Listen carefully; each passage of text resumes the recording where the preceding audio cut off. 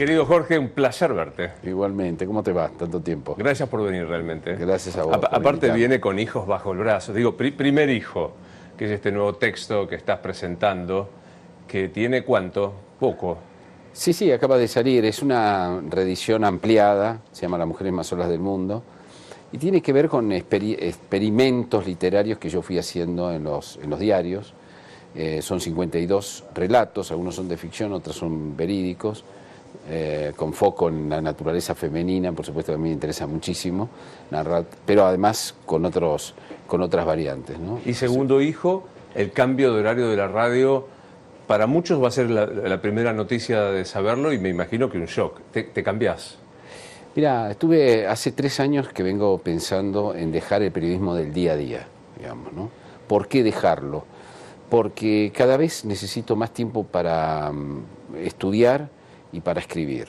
¿no? Este, la columna del domingo de, La Nación me exige estudiar permanentemente historia, ciencia política, los libros de actualidad, literatura, etc. ¿no?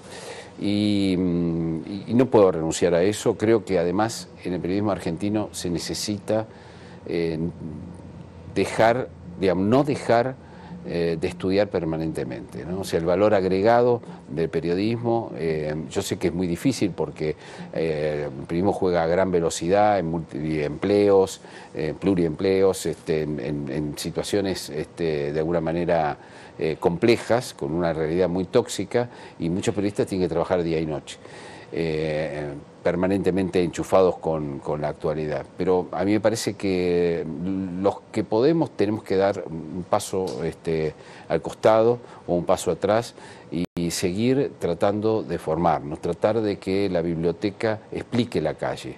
¿no? no abandonar la calle, pero que la biblioteca explique la calle, para, para entender que las cosas que nos suceden tienen raíces, ocurrieron de otra manera, en otros sitios, que hay novedades importantes sobre lo que nos pasó. Y bueno, yo además sabés muy bien, porque alguna vez he presentado mis libros en, la Feria del Libro, he tenido ese privilegio, eh, que mi gran vocación anterior, incluso todavía al periodismo, es la literaria. He escrito muchas novelas, tuve la suerte que me fue muy bien con las novelas, que me, me están esperando novelas mías en España, en Argentina. Eh, y cada vez me resulta más difícil porque a veces estoy desde las 7 de la mañana hasta las 11 de la noche enchufado con un monotema. El monotema es el kirchnerismo, el antikirchnerismo, eh, lo que pasa en la Argentina, que por supuesto es crucial, que me duele en lo personal, pero que mm, es muy empobrecedor finalmente que eso sea lo único eh, que te tiene tomado, digamos. Entonces, mm. pensé, tuve también la suerte de que durante nueve años estuve en un programa liderando el rating, que pensándolo bien todas las noches, y pensé que era hora de, dejar el día a día, de dejar las columnas políticas del día a día, no dejar la, columna que escribo para el Diario de la Nación, porque yo la tomo como si fuera un ensayo, verdaderamente. Eh, me lleva muchísimo trabajo de pensarla, de escribirla. Eh, este, tardo muchísimo en hacerla, pero considero que forma parte ya de mi obra, digamos. ¿no? Eh, pero sí dejar el día a día porque ya no puedo, no puedo con esto. Tengo 62 años. ¿Cuánto tenés? 62 tengo. Mucho menos pareces. Parezco menos que De verdad, te, te, lo digo en serio. Me alegras un día, me alegras un día. Me alegras. Pero mira... Eh, estás pensándolo para que... Hace 42 años que estoy en la trinchera del periodismo. Logré escribir 15 libros desde la trinchera del periodismo. Y alguna vez me dije, bueno, cuando, cuando tenga la oportunidad, eh, voy a tratar de dedicarme seriamente a los libros, más seriamente de lo que hice hasta ahora. Eh, y para eso tengo que dejar, eh, por lo menos lo que llamamos la actualidad caliente. ¿no? Eh, le, dije a Jorge Porta, que es el director, el mentor, mi mentor dentro de, Radio Mitre, que me, guió junto a, Guido Valeri en, todos estos 10 años tan afortunados que hemos tenido. Y, bueno, él entendió, entendió que, era un asunto vocacional y me, hizo una contraoferta. Bueno, no te vayas de todo, ¿por qué no ocupas el lugar que dejó nuestra querida Magdalena? Que todas las noches Magdalena escuchaba mi programa y me mandaba mensajes y aportaba al programa silenciosamente, ¿no?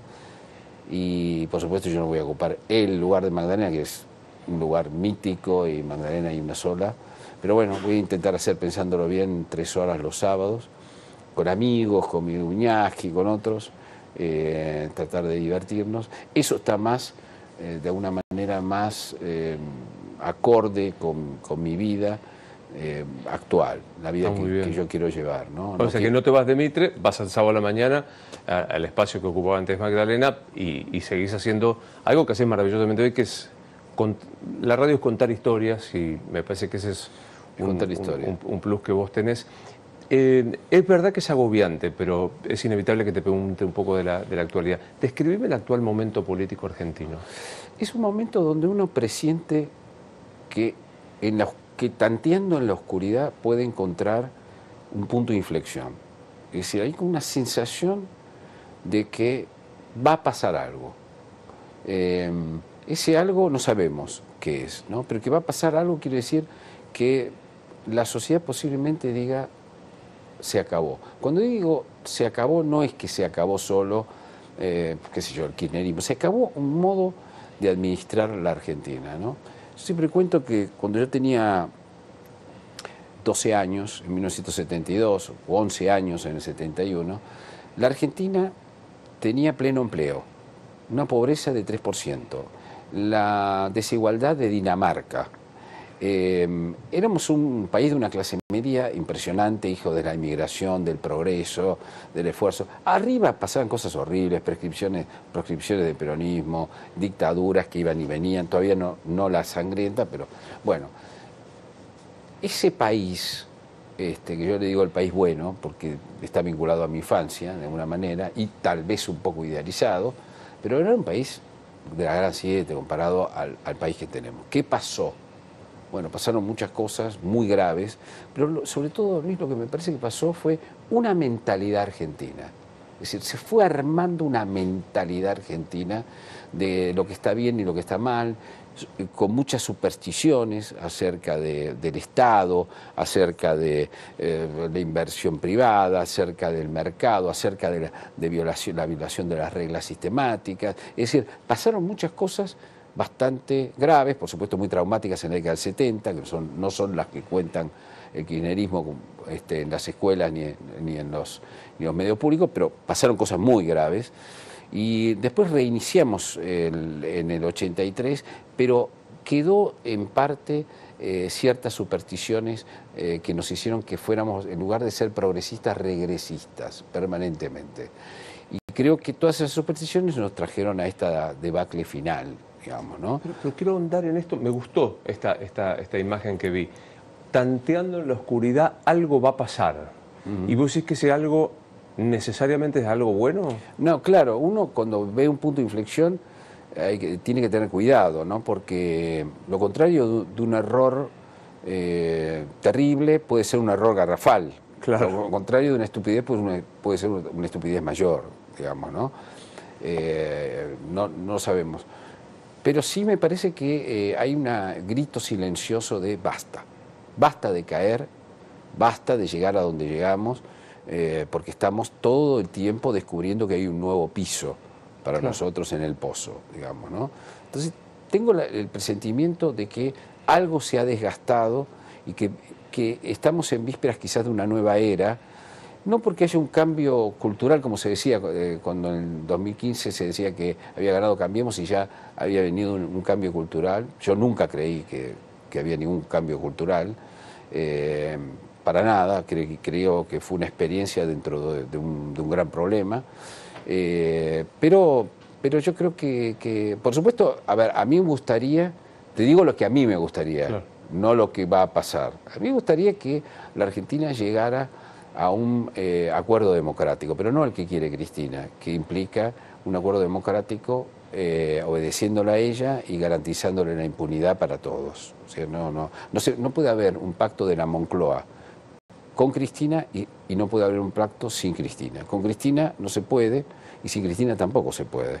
Sin Cristina no tendría sentido un pacto de la Moncloa. ¿Y, con, Cristina el problema es que ella quiere que le, que, em, le perdonen todas las causas judiciales, a ella y a todos, ¿no? Em, y es de imposible cumplimiento, no solo por la voluntad eh, política y no solo por, por la, vergüenza que moral que implicaría eh, de manera, ante el pueblo argentino, ante la sociedad argentina, sino porque imagínate, entras a casación y dice, señor, mire, este, esta causa la vamos a parar, vamos a sobreseerla a la presidenta o a quien sea, ¿no? a Debido, a quien sea, y, porque, y por un acuerdo político que estamos teniendo. ¿Quién le dice eso? es un delirio. Entonces, el, Pacto de la Moncloa, que a mí me, encanta, porque me encanta Felipe González, porque me, encanta la transición española, este, que está tan este, vapuleada ahora en España, me parece espectacular, ojalá nos hubiera tocado a nosotros, es de imposible cumplimiento en esos términos, me parece. ¿no? Eh, pero sin embargo, habría quizás otros acuerdos políticos posibles. A mí lo que me gustaría es muy sencillo, es un eh, no es de derecha, no es de izquierda, no es de nada. Yo creo que a lo largo de la historia argentina está demostrado que hay dos Argentinas, simplificando. Así como se habla de... Machado hablaba de las dos Españas, en realidad recogía un viejo término, Machado, de las dos Españas. ¿no? Me parece que hay una Argentina que es, es una Argentina exportadora, que quiere salir al mundo, eh, que, cree en el mercado, que, cree, que es cosmopolita. ¿eh? Eh, que cree mucho en el esfuerzo personal, etc. Y después hay una Argentina que es eh, otro argentino que es más endogámico, que cree más en el Estado, que desconfía más del mercado, que cree que se puede vivir con lo nuestro y que no cree tanto en, el esfuerzo personal, sino en, en, algún acuerdo colectivo. Bueno, esos son los dos argentinos, digamos, aceptemos. A mí me gusta más el primero, pero aceptemos que el segundo existe y es, muy fuerte. Es pregunta, ¿el primer argentino cree en la ley, cree en la vieja república liberal y el segundo no o me equivoco? El segundo cree en la ley, pero no, la colocaría la ley por encima de, otros asuntos, claro. digamos, ¿no? Entonces me parece que, hablando bien de los dos argentinos, diríamos, por ahí, esto es la Argentina, no inventemos otro, esta es la Argentina, básicamente y se ha demostrado alrededor de dos siglos. Entonces me parece que esas dos Argentinas podrían convivir, podría gobernar un día, acordar entre ellos 20 políticas de Estado que no se mueven, que esto es lo más difícil de acordar, y después girar un poco. Y, a veces eh, está bien porque en estos sistemas democráticos virtuosos un partido es el que genera riqueza, el otro partido es el que la reparte, pero el que la reparte no deja de crearla y el que la crea no deja de repartirla, ¿no? aunque son énfasis ¿no? que van y vienen dándose más o menos la mano. Yo creo que esos dos argentinos podrían estar adentro, porque acá siempre se plantea la idea de que una Argentina impone, se impone eh, sobre la otra, de manera, y por lo tanto la deja fuera.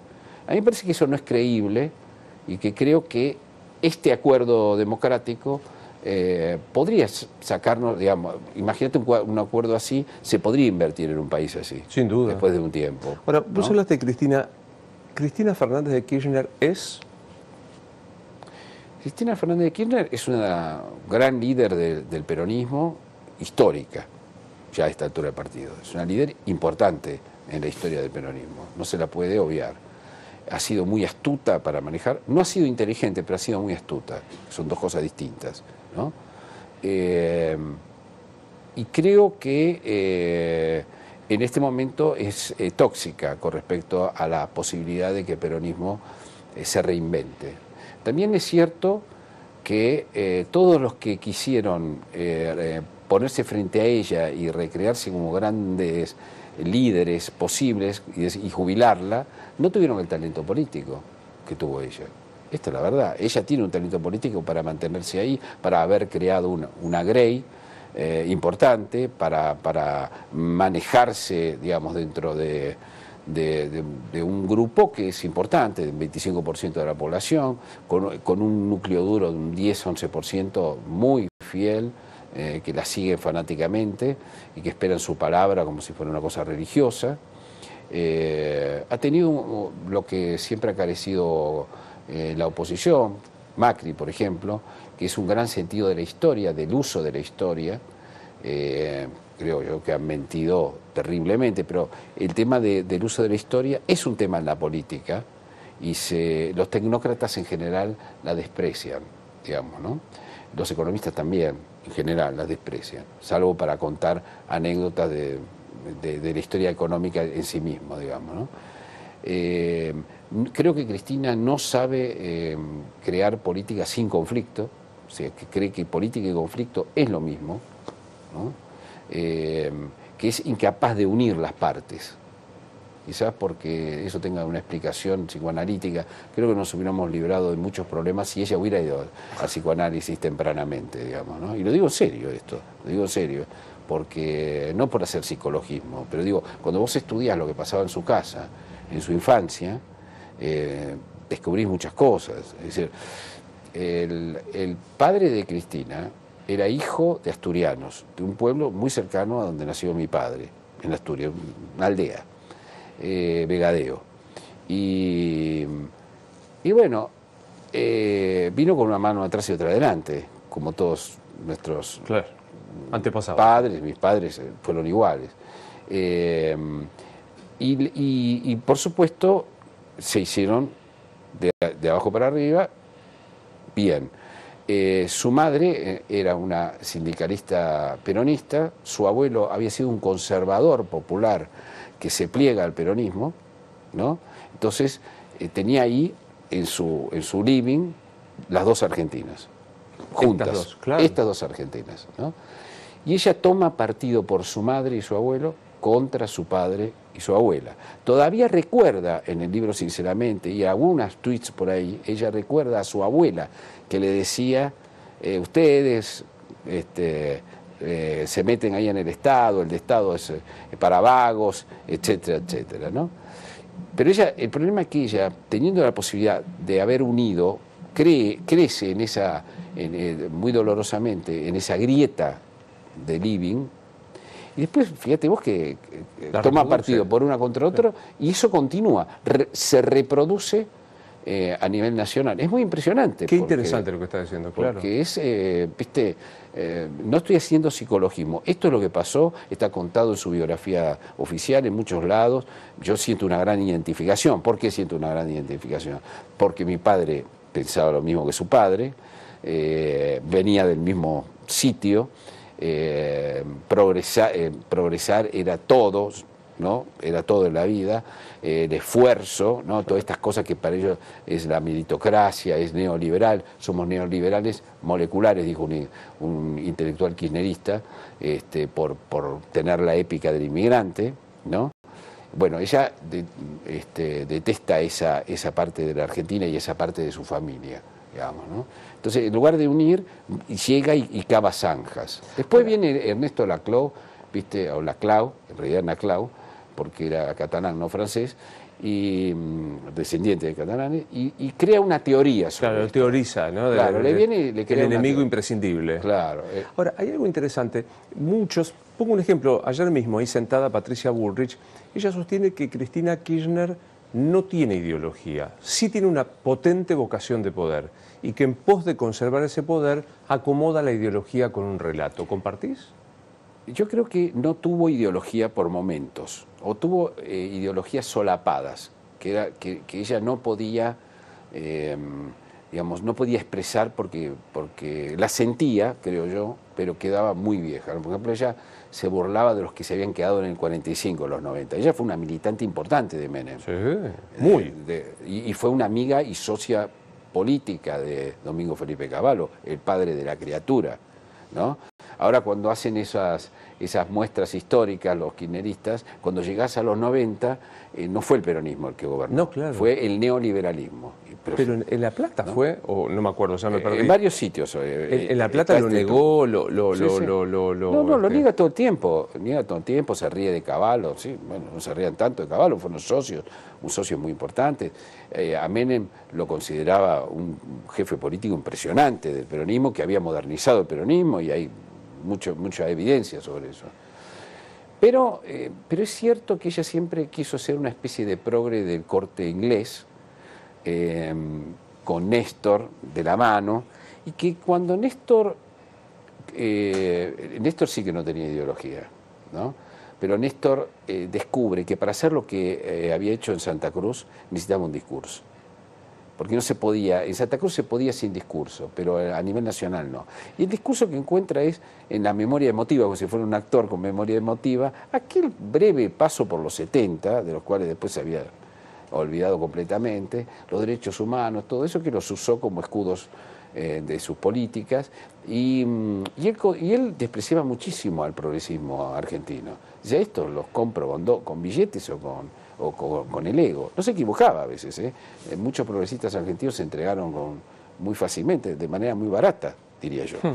Eh, y, pero yo, yo creo que ahí Cristina se fue tomando más en serio eso de que venían a encarnar toda una corriente y que ellos, ¿viste? y, es un proceso donde muere Néstor y ella la llama eh, Chávez y la llama Fidel y le dicen que ella es, la gran... ¿no? Y, ella eh, me parece que empieza a creer esa historia de que ella desciende de alguna manera de los caudillos federales, desciende del nacionalismo irigoyenista, desciende del peronismo, desciende de, eh, los derechos humanos, desciende sobre todo de la juventud maravillosa, entre comillas, tiene una mirada sobre Perón medio de costado, ese asunto de la juventud maravillosa es un problema muy grave porque el kirchnerismo lo resucita a una generación que eh, fue víctima de la dictadura militar, por supuesto, pero además fue víctima de sus propios ideales, que eran ideales absolutamente autoritarios. Claro. ¿no? Ahora, me, me quedo pensando en esto, ¿no? Porque es verdad, no podemos hacer psicologismo y menos por televisión pero hay rasgos que me sorprenden mucho. Hoy volvió Cristina a negar al gobierno de Alberto Fernández. Es más, dijo, cuando yo terminé mi gobierno estábamos mejor que por estos días. Este no es su gobierno, ¿no? Esta cosa de apartarse, esta, cosa extraña. ¿De verdad lo cree o es puro pragmatismo para pensarse a futuro? Ella cree lo que necesita crear, claro, me parece, ¿no? Es decir, construye una creencia, es una gran actriz, entonces termina creyendo el papel. Es una gran actriz que termina creyendo el papel. Claro, termina creyendo su papel. ¿Viste esas, que, esas actrices que realmente son extraordinarias, que entran y se creen Macbeth, ¿no? Bueno, eh, y me parece a mí que ella em, lo, que, lo que está intentando es despegarse de una criatura que salió muy mal, absolutamente mal. Está, eh, a ver, eh, ella, ella fue la autor, ella colocó a Alberto Fernández, no voy a repetir lo que todo el mundo sabe. Ella metió a los principales funcionarios en el gobierno nacional. Lo sacó a los que no quería. Lo sacó. Ella le impidió, mira, estaba arreglado, estaba arreglado el tema con el FMI para inmediatamente ganaba Alberto, a los 20 días estaba arreglada la deuda. Se reprogramaba todo, se tiraba. Ella se lo impidió. Ella eh, fue la autora intelectual de este gobierno sobre Guzmán continuamente. Y una de las evidencias más impactantes es que los primeros seis meses de Guzmán el gasto fue expansivo. O sea que el, ajustador neoliberal de, según la cámpora, de Guzmán tenía eh, expansión de gasto. Y, los seis meses restantes de Sergio Marza son contractivos, es decir, hay ajuste. Entonces, eh, despreciamos a Guzmán hasta hacerlo renunciar y apoyamos a, a, Massa para que haga el ajuste. ¿no? O sea, también hay es cierto que mm, sin subestimar, el, el kirchnerismo está viviendo un proceso de deterioro cognitivo. Digo, no es el mismo eh, que creaba relatos este, verosímiles, entre comillas, eh, para mí nunca lo fueron, pero bueno, mm, tenía que ir el, periodismo todo el tiempo detrás desenmascarando las mentiras obvias, que eran sofisticadas.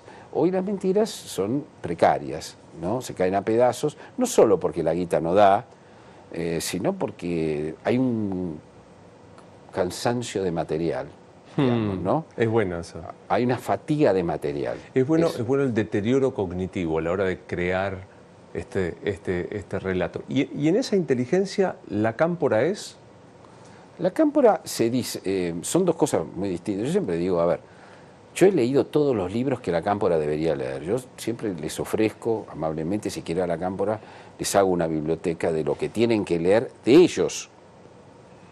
No en general, los de ellos, ¿no? Me, temo que leyeron más folletos que otra cosa, ¿no? Eh, de lo que tenían que leer. Pero bueno, eh, ellos se, consideran, digamos, herederos, se dice en la orga, como se decía, en Montoneo se decía la orga. Hay un coqueteo permanente, el coqueteo permanente con el pasado, bueno, con la JP, aquella gloriosa JP, que ahora encarnamos nosotros. Aquella gloriosa JP fue un desastre, un desastre. Eh, no solo este, un desastre porque primero practicaban el crimen político. la violencia. Porque tenían eh, un, sistema de pensamiento totalitario, no creían verdaderamente en la democracia. esa idea de sistema totalitario, de imponer, el, traducido a hoy a la posmodernidad, es el, régimen de partido único. ¿Qué quiere el kirchnerismo? Y quiere Santa Cruz a nivel nacional, siempre quiso Santa Cruz a nivel nacional. Son chavistas frustrados porque no les fue saliendo el asunto, digamos, ¿no? Pero, pero todos los días vos te levantás y, son una fuerza que te creó algo. Ahora inventan que los jueces, este, si, si eh, se manejaron mal alguna frase sobre el género, eh, este, lo, pueden, lo pueden apartar. Y si todos los días inventan algo. ¿Qué quería...? Pero perdón, ahí ve un deterioro cognitivo no menor. Es de una actitud burda. E, ese proyecto de, Anabel Fernández Agasti, que dice, si un juez tiene un discurso de odio con mujeres, minorías sexuales o que yo qué, puede, ser recusado. Ya está. Eh, o sea, eh, está de, Alberti para esta parte, se llama mal desempeño eso. Entonces, digo, eh, es, como medio burdo el, discurso, ¿no? Sí, sí. Sí, no están en un buen momento intelectual, digamos, ¿no? Y están muy confundidos con lo que pasa. Pues, a ver, el plan de ellos era muy claro. El plan de ellos es, este Macri es un desastre, cambiemos es un desastre y nosotros, ¿sabes qué? Como la tenemos clara, llegamos y la arreglamos en dos minutos. No la arreglaron, las cosas se fueron complicando, no tienen una idea, eh, las ideas que aplicaron eran viejas y las, fíjate que todas las ideas que se les ocurren, precio justo, todo, es lo mismo, no hay una idea nueva, eh, la economía falló, eh, un, este, fallaron en muchos aspectos este, públicos, recibieron una, paliza electoral tremenda, porque ellos querían, mejoramos la economía, arrasamos en el medio término y vamos sobre los jueces y los periodistas. Ahí sí vamos por todo. Es decir, si ganamos eso, vamos por todo. Esto está manifiestamente dicho, ¿eh? no es que es un... Este es el plan verdadero que tenían. No, resultó porque no resultó la gobernabilidad, la gobernanza económica y política fueron un desastre. Hoy eh, Cristina Kirchner no tiene un plan económico alternativo, no tiene idea. Eh, si dijéramos, señora, usted es vicepresidenta de la Nación, ¿sí? ¿Y usted tiene un plan para salvar a la Argentina? Sí. Póngala ahora, señora, falta un año. Estamos con 100% de inflación, tenemos 50% de pobreza real, estamos en el horno tiene una oportunidad, tiene un año para dar la vuelta. Ya que usted tiene la fórmula mágica, que no la tiene Alberto Fernández, pele la fórmula mágica, ponga quien tenga que poner y vamos para adelante. Pero no la tiene, no la puede poner porque no la tiene. Ahí, aparece el fenómeno masa, que yo te leí con mucha atención el domingo, como cada domingo en La Nación, fuiste muy duro con algunos empresarios que lo aplaudieron a Sergio Massa. Ya empieza como a deshilacharse lo que algunos decían era la bala de plata, el hombre que sí sabe del, Estado? Mira, lo que se vio claramente, a la primera semana parecía que había llegado un tipo que me, hizo acordar a cuando Caballo se hizo cargo de la alianza la primera semana. La alianza iba en cámara lenta y aparece Caballo y parece todo en cámara rápida. ah, la pelota, lo que es esto. En la primera semana además parecía, ah, no, este tiene una jerarquía, este viene empoderado y todo. Después se vio los grandes problemas que son los que dice su vice ministro de Economía con sinceridad y cada tanto lo llama y le dice, che, no hables. Estamos, estamos coqueteando la hiperinflación, habla él del Rodrigazo. El propio Massa dice, hay algunos cuervos que se aprovechan de la carroña. Carroña es la economía argentina, de ellos. Claro. Eh, sí, plomero del Titanic, se, ¿eh? autotituló plomero del Titanic. Claro, plomero del Titanic. Es, bravo. Sí, sí, Otro debería ir a psicoanálisis también. ¿No es cierto? Porque la, tiene, la, tiene el inconsciente a flor de piel. Eh, pero Digamos, yo creo que, que, no tiene, que está claro que lo que hay que hacer para ellos es tirar, tirar todo lo que puedan hasta mediados de año, tirar un nuevo plan platita, que lo va a pagar el próximo gobierno, seguramente, o un par de planes platita, en la desesperación total, la inflación va a tardar unos meses en multiplicarse. Hay que ver si le dan, están asustados, están asustados, están asustados, parecen sonrientes y todo, ¿no? Yo, mi enojo no, no, fue solamente con los que aplaudieron a Massa, porque es una cosa circunstancial. Mi enojo es, en general, cuando vos hablas y mirás cómo se mueven, no todos los empresarios argentinos, eh, me, refiero a los grandes, porque después eh, vos cruzás la General Paz, Sarís, de, de, Lampa y descubrís una Rosario, por ejemplo, descubrís que hay otra Argentina productiva, otros empresarios eh, que creen en la Argentina en serio, que son impresionantes, pujantes, en Córdoba, en Mendoza, en un montón de sitios. acá me refiero al establishment eh, habitual, que yo creo que está acomodado, aclimatado en el fracaso y acomodado al peronismo. A la, finalmente el peronismo les enseñó algunas reglas truchas, ellos se fueron un poco metamorfoseando con esas reglas. les da fiaca, viste, cambiar. Pero es fatal lo que decís, ¿eh? aclimatado con el fracaso y acomodado con el peronismo. Ya saben más o menos la regla, no me vengas con que tengo que hacer un gran esfuerzo, asumir un gran... Entonces, más o menos, arreglame el cepo cambiario, bajame un poco la inflación, déjame traer los insumos y listo. Con eso más o menos arreglamos todo. Y no, no se arregla todo con eso, no se arregla. O sea, la caída vertiginosa de la Argentina no se, no se arregla. Los, esto porque están acá, pero los inversores extranjeros no van a venir nunca, salvo que sean eh, locos ante una situación como esta. Es decir, me parece que hay un acostumbramiento, eh, el establishment eh, se lleva bien con los, los, sindicatos, los gordos sobre todo, que tampoco quieren cambiar nada, que amenazan al que quiere cambiar. Es decir, se va formando una especie eh, de, de, agua estancada que huele a podrido, eh, pero ¿qué es, ¿qué es lo que se llama la sociedad corporativa? Digamos, ¿no? El peronismo siempre aspiró a una idea de sociedad corporativa y lo, fue consiguiendo. Incluso los, los, los, miembros del establishment que dicen, no, esto hay que cambiarlo, y qué sé yo, bla, bla, en, en, público, van a los foros, dicen, no, porque en el mundo, qué sé yo, después cuando llega la hora, ¿verdad? No, no quieren mucho. No quieren cambiar. Cruzate de vereda, Jorge, mira un poco Cambiemos. ¿Qué, ¿qué estás viendo? Y un gran quilombo. es el título, ¿eh? Es un gran quilombo, ¿no? Me, llama mucho la atención, eh, primero que no terminen de entender los de Juntos por el Cambio, el mandato verdadero de la gente, digamos, ¿no? Es decir, yo creo que aquí hay, yo, yo lo denominé un republicanismo popular, que es un montón de gente diciendo quiero un país normal. Un montón de gente, millones de personas diciendo yo quiero un país normal, no quiero ir para, para aquel lado, no quiero la anomalía, me acuerdo que Ricardo Foster se regocijaba con la idea de que el, de que el kirchnerismo era una gran anomalía. Bueno, sí, efectivamente es una gran anomalía, pero nosotros queremos un país normal. No disculpame, Ricardo, disculpame, pero quiero un país normal, no quiero una anomalía. ¿sí? Y hay millones de personas que quieren un país normal. Después hay discusiones de cómo se llega a ese país normal, ¿no? Eh, que son discusiones metodológicas. Por ejemplo, hay, hay discusiones entre los halcones y las palomas de cómo llegar a ese país normal, pero más o menos quieren, más o menos llegarse. Hay algunos que creen que frente a la fiaca del establishment, fiaca existencial del establishment, frente al statu quo, y se va a llegar cediendo acá, cediendo allá, lentamente, y, y, alguno podría decir, pero entonces vas a cambiar algo, o, es un gato pardismo, cambiar un poquito para que nada cambie. Bueno, hay discusiones de, de este índole, pero más o menos todos saben, están eh, está mal formada la Argentina, está mal formada, que es obvio lo, que, lo primero que hay que hacer. Lo segundo es más complejo, que es, bueno, construir una, poner una centro derecha, una centro izquierda, un, como, después, después está el sistema político que hay para, pero ahora hay una emergencia con lo que hay que hacer, es obvio lo que hay que hacer. ¿No? El asunto es cómo hacerlo. Ahora yo veo que si Macri se mete es lo peor si se va a Qatar y le regala la cancha, ¿no?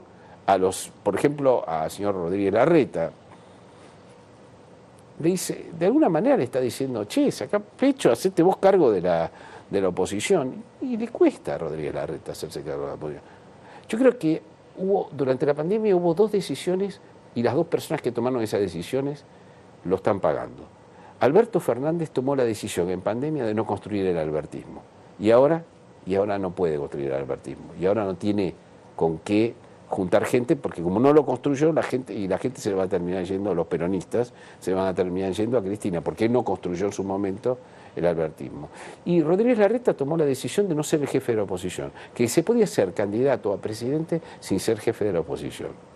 Entonces le dejó que esa chica que pusieron ahí en el PRO, Sí, deja que la posición administrativa. Yo me acuerdo que me dijeron, que es una decisión administrativa. Administrativa, bueno, fue ocupando los lugares en política donde no se ocupaste, te, fue girando un Ahora, ahora la Arete y un gran problema con Patricia Burrich. por las dudas. Claro, con Patricia Burrich, que, que eh, fue ocupando el lugar de él, pero fue una decisión, mala decisión de él. Se puede ser jefe eh, se puede ser candidato a presidente sin ser jefe de la oposición. No, no se puede, Horacio. En un país como la Argentina no se puede. Entonces, ahora te regala la pelota se va a catar, te regala la pelota. Arrancá. Macri, dice, arrancá. Y no puede arrancar, porque, viste, bueno, hay un problema. Y después empiezan a pelear todos por este... Y están dando un, eh, espectáculo penoso, penoso, un momento dramático, todos peleándose por esto, por aquello. Yo los veo, me da dolor de cabeza verlo. Me importa un belín el destino de cada uno de ellos. Eh, van a la tele y hay que escucharlo eh, ¿viste? No, no. Y el radicalismo tiene un gran problema también, ¿no? ¿Cómo, ¿Cómo, eligió a un tipo como Morales como presidente, ¿no? A Morales, un muchacho, un señor feudal, peronista, este, instalado en el mundo del radicalismo, ¿no? Eh, y no sé, Cornejo, no, Cornejo, eh, Sanz, eran dirigentes de otra calidad, me parece a mí, ¿no? eh, cómo el radicalismo elige a Morales y elige a Manes como candidato. Y eso es todo lo que tiene el radicalismo para ofrecer, de verdad. Un, partido tan importante, donde yo tengo tantos amigos y tanta gente que admiro, este, ¿cómo llegó a esta encerrona? ¿Cómo llegó a esta encerrona? En el medio aparece Javier Milei, que lo lees como... Javier Milei es una versión argentina de una internacional digamos, de una que es la internacional, llamada de ultraderecha, eh, del populismo de derecha. Hay muchas formas de, de llamarlo, porque ahí está Vox, ahí está Trump, ahí está Bolsonaro, ahí está Meloni, ahí está... Es decir, pero yo creo que siempre que lo veo a Milei, lo veo como un desprendimiento del estudio de Broda. No, no me lo puedo creer como, eh, digamos, como un dirigente eh, como Bolsonaro o como un dirigente como, como Vox, que yo estoy en las antípodas, antípodas de ese pensamiento, pero voy a tratar de explicarlo, digamos, ¿no? Hay una reacción por derecha orgullosa contra valores que el progresismo limó. La familia tradicional, la bandera, la patria, es una reacción también contra la globalización, pero no por izquierda, sino por derecha, eh, es una reacción contra lo políticamente correcto, que, eh, es rizar el rizo, políticamente correcto. Una yo también estoy de acuerdo con muchas cosas de salubridad, de cuidar las minorías y todo, pero si vos este, querés eh, que yo no vaya a ver un Caravaggio, porque Caravaggio mató a una persona, entonces ya estamos en la estupidez, iba a decir una mala palabra. Eh, o si vos no querés que yo lea Lolita de Nabokov, porque en realidad es la historia de un este, pedófilo, eh, ya me estás hablando de estupideces. O si vos me estás midiendo todo el tiempo, si yo digo tal palabra, tal otra, eh, me querés dar lecciones, bueno, eso produce ese, esa exageración de lo políticamente correcto, esa exasperación, ese lenguaje intrusivo que, quieren instalar, lo que produce es un péndulo. Y el péndulo es jorobado, porque crea un montón de gente que está muy hinchada las pelotas en todo el mundo, y ahí va y recoge la ultraderecha esa, esa sensación. El caso de Milei, yo creo que Milei no termina de creer, de encajar en esta historia del todo. Por ejemplo, para que te des una idea, si hubiera encajado, él hubiera agarrado los celestes contra los verdes si hubiera encarnado, lo hubiéramos escuchado mucho más hablar de los valores de los celestes, o tanto de los valores celestes como de la economía. Él no lo siente eso, se tiene que disfrazar con eso. ¿no? Entonces, no es exactamente la eh, internacional eh, que está de moda. ¿no? Eh, pero Milei le puede hacer un daño muy grande a la oposición, muy grande, porque tiene un 20% quizás de, imagen, de, intención de voto. puede fragmentar el voto opositor y beneficiar al kirchnerismo. es un dilema, es un dilema para un frente centrista como fue Juntos por el Cambio obliga, me parece a mí, a algunos a jugar en ese terreno para que no se te vayan los votos por derecha, ¿no? Eh, sin abandonar el centro, que no se te vayan por derecha. Eh, y a ver, yo lo que diría de mi ley, mi ley es como, eh, es un tipo muy formado en economía, evidentemente, pero a ver, es como hablar con un trosco, con un trotskista. ¿Sí? ¿Vos cómo vas a gobernar la Argentina? Claro. Es decir, tengo esta idea, de sí, no, pero ah, ya no sirve decirle a la gente, yo voy a hacer tal cosa, tal No, tráeme un plan político para hacer tal cosa o tal otra. En el pasado, algunas personas que pensaban como mi ley eh, se terminaron refugiando en dictaduras militares. Claro, los tipos con los fusiles imponían una doctrina, eso no era liberalismo, era fascismo de mercado, que es otra cosa, este, y era fácil Sí, sí. Hay Yo me acuerdo que durante Cambiemos, algunos economistas decían, ¿por qué habría que hacer tal cosa y tal otra? Sí, sí, en un, gobierno militar sí se puede hacer, claro. Si sacar los tanques a la calle, sí, sí, claro, no. El problema es persuadir, hacerlo de democracia, ¿no? que la gente te crea, hacer política, eh, perder una elección y seguir vivo. sí, es un pequeño problema. Es lo que veo, es decir, yo veo que mi ley dice cosas muy interesantes económicamente, pero son cosas inaplicables. Hoy es como un grito de, dureza, es un aviso para todo el sistema y es un aviso para Cristina Kirchner. Es decir, el hartazgo a la hegemonía kirchnerista de, de 20 años, el hartazgo salió por derecha, no salió por izquierda. Y eso es que identifican las víctimas del kirchnerismo, de la política kirchnerista, identifican que el kirchnerismo está medio en la izquierda y que por lo tanto hay que huir hacia el otro lado, de alguna manera. ¿no? Eso me parece que es eh, un cambio sociológico inquietante. Jorge, te pedí que definieras a muchas personas. ¿Quién sos vos? Yo soy el hijo de dos inmigrantes asturianos que leía Sherlock Holmes cuando tenía 12 años y quiso ser un escritor. Después se metió en el periodismo y abrazó dos vocaciones, y esas dos vocaciones se pelearon mucho tiempo, después se, unieron, eh, creo que para siempre. Y mm, fui un pre-kirchnerista, porque fui alguien que a los 20 años abrazó como buen descastado.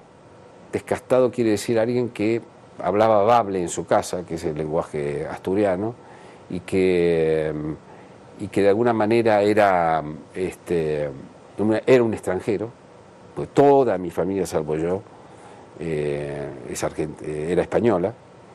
Eh, yo soy el primer argentino de largas y largas generaciones, entonces yo siempre me sentí un extranjero. Como muchos extranjeros, el modo de ser rápidamente del lugar fue el nacionalismo, me metí en el nacionalismo de izquierda, hice muchas estupideces, hice imbecilidades de todo tipo, conozco muy bien las imbecilidades del kirchnerismo y del peronismo porque las viví y las practiqué. ¿no? Y tuve un largo proceso, porque el nacionalismo se cura viajando y leyendo, tuve largo proceso de restauración psíquica que, todavía, continúa en el día de, hoy. Y lo que soy es que yo me amigué con el tiempo con algo que ya llamábamos nosotros cuando yo era joven la clase mierda. ¿no? O sea, yo me amigué con la clase media argentina. Yo creo que la clase media argentina es lo más virtuoso que tiene la Argentina y que tuvo la Argentina. A pesar de grandes equivocaciones que cometió, porque si no, no estaríamos en este país, por supuesto, pero yo siento que yo, lo que yo salgo y digo es lo que comparte el tipo que vive al lado de mi casa, el de abajo, el de... Viste, que muchos me dicen, es, es muy interesante lo que nos dicen. ¿no? Por ejemplo, a la nata lo agarran por la calle y le dicen, siga pegando, siga pegando. A mí me dicen, gracias por decir lo que yo pienso. ¿no? Y eso me define muchísimo. Aparte es un hermoso elogio. Eh, de, tus libros, de tu... ¿Diez y cuántos? 15. 15 libros. Sí que he tenido la suerte de leer la enorme mayoría de ellos, pues sé que yo soy fanático de dos particularmente, que son Fernández y Mamá. Sí. Porque aparte marcaron mucho una, Me hiciste de psicoanalista este, gratis, Que me, interpelaste eh, muchísimo. Y me detengo un poco en, Mamá porque es un bello texto. ¿Qué, qué, qué, aprendiste de tu madre? Y muchas cosas, muchas cosas, muchas cosas. Fue una gran interlocutora mía, como fue la tuya seguramente, con respecto al periodismo, a la política, eh, fue una gran interlocutora, me dio, me dio muchas oportunidades de, hacer literatura.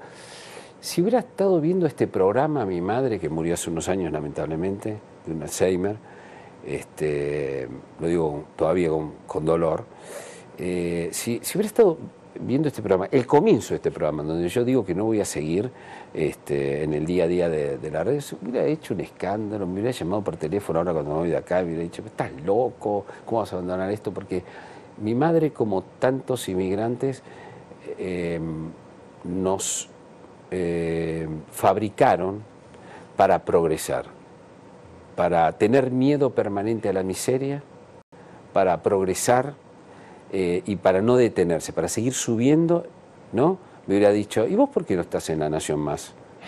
¿Y vos por qué no estás en la primera o en la segunda mañana de una radio importante? ¿Y por qué tus amigos, no sé, eh, este, esta generación, que es una generación de titanes, nos enseñaron al progreso permanente, pero no nos enseñaron a detenernos, no, no nos enseñaron a también capitalizar lo, conseguido, digamos, ¿no? Y eh, no nos enseñaron a ser felices en ese sentido. Ah, me siento tan identificado porque los otros días hablando, y para ponerlo en términos de Nietzsche, yo decía, yo siento que me enseñaron el mandato apolíneo, pero nada dionisíaco. O sea, el deber, el deber es, un, es, es, una cosa presente, el placer muy, muy escaso. El placer es sospechoso. Claro. Ahí Te diría casi pecaminoso. Te lo voy a robar. Sí, es casi pecaminoso. Cuidado, ¿no? Nos enseñaron un montón de cosas, pero no nos enseñaron la llave de salida. Eh, nos, mostraron toda una casa, pero no dieron la llave de salida. Y yo creo que el gran proyecto que uno tiene es aprender eh, a construir su propia llave y a salir. ¿Y, la encontraste? La voy encontrando, me cuesta. ¿eh? ¿Qué, ¿Qué puerta está abriendo esa llave? Por ejemplo, dedicarme a la literatura, darme ese permiso. No es poco, ¿eh? Es muchísimo. ¿Para, qué sirve la plata, Jorge? Para comprar libertad. No, no, para ninguna otra cosa. A mí no me interesan los lujos, no. Viajar, viajar de vez en cuando, pero no me vuelvo loco para nada. Soy muy austero, vivo, mis vecinos saben bien dónde vivo, dónde vivo, dónde desayuno, a veces. No, no. Ayer hablando con un común amigo nuestro. Pero, pero es verdad que el dinero a un artista le permite la libertad del silencio, la libertad de, escribir, la libertad de pensar. ¿no? Eh, a mí me lo han dado mis, mis eh, lectores, que han pagado por mis libros muchísimo. Me han convertido en un bestseller y me han dado la libertad de seguir escribiendo. Eso es muy bonito. ¿Qué, ¿Qué, acto de generosidad, que vayan y compren el libro. Es increíble. Sin saber qué. Es increíble porque digamos, asumimos que vas a, después de estos libros que uno ha leído tuyo, asumimos que va a haber literatura. Pero es un riesgo. Y si, y si, Jorge siempre chafó y escribe... Siempre fue un riesgo. Siempre ¿Qué, acto de generosidad? Cuando escribí El Puñal era un riesgo enorme. Yo venía de escribir eh, literatura sensible y de repente escribo una de espionaje político. 100.000 ejemplares vendió. Bueno, ¿lo podés hacer por segunda vez? No sé. A lo mejor sí. Y, vino, claro. ¿Eh? Y, claro. Lo hice, dificultosamente. Y por tercera vez hacer una trilogía, qué sé yo.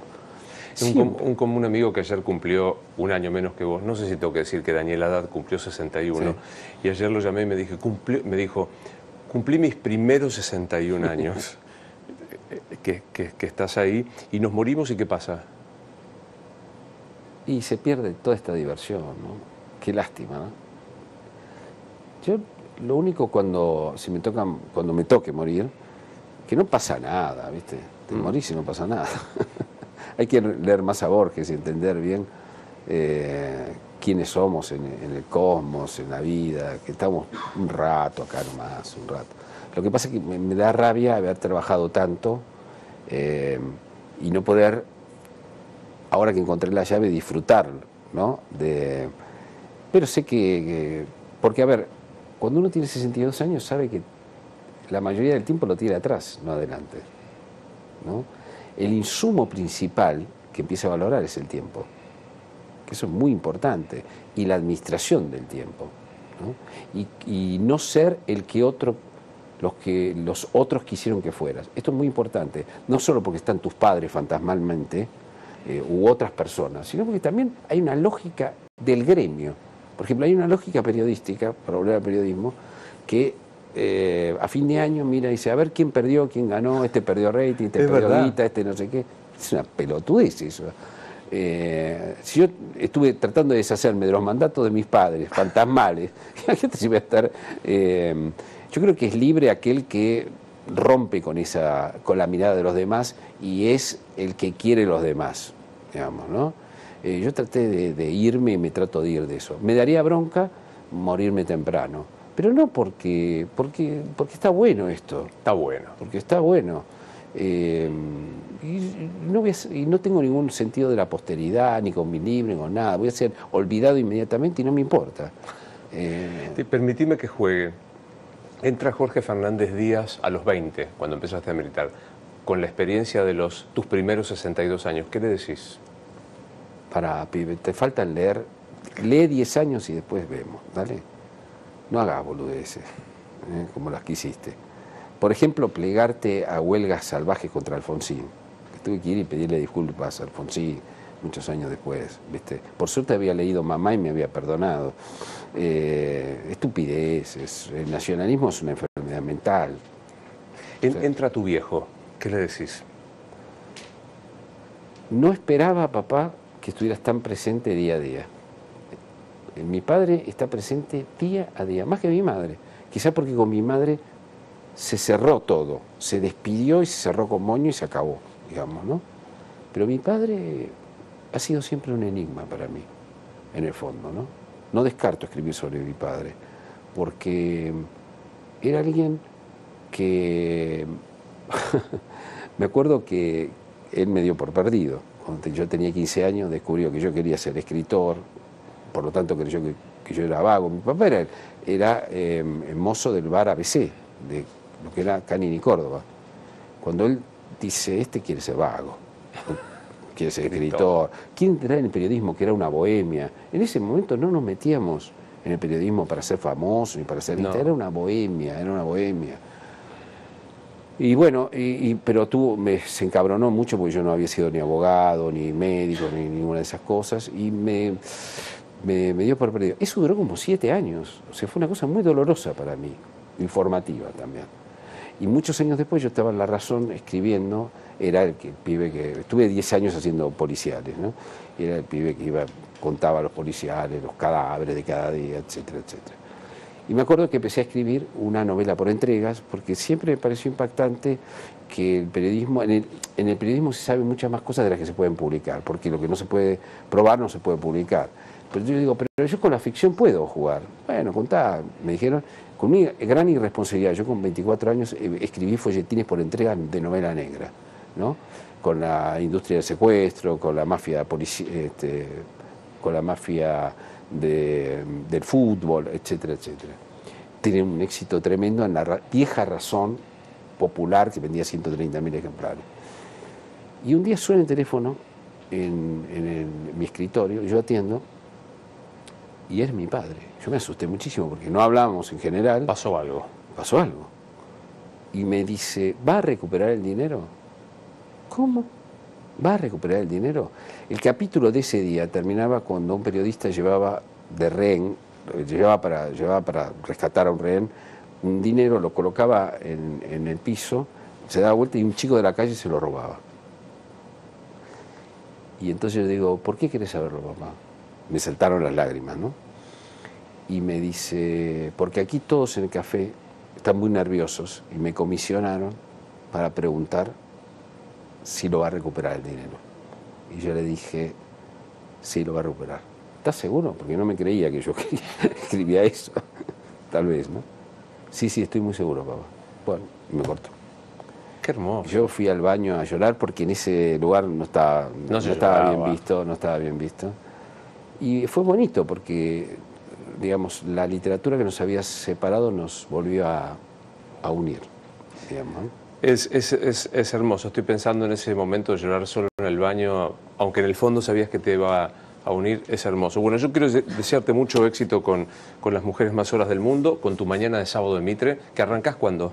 El primer sábado de, de enero. Eh, pensándolo bien, va a seguir todos los días con el mismo equipo, pero con Gonzalo Sánchez. Bien.